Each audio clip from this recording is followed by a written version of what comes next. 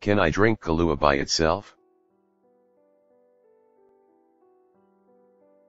Put 1 part Kahlua in a blender too if you want it stronger and a little milk or cream add 2 to 3 scoops of your favorite ice cream blend and drink. Kahlua is a sweet coffee liqueur, it can be had on its own with ice or added to rum or vodka.